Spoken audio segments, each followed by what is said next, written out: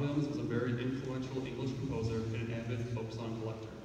His music, like Flourish for Wind Band, is very powerful and expressive.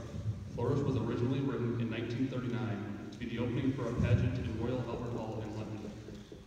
The piece was later lost, only to be rediscovered and published in 1971.